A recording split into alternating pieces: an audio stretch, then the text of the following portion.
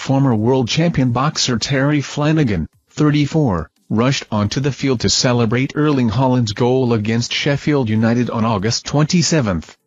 Flanagan, a die-hard Manchester City supporter, held the WBO lightweight title from 2015 to 2017 with a record of 36-2, including 14 KOs.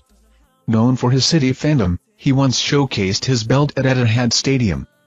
The Sun identified Flanagan as the invader who hugged and seemingly kissed Haaland.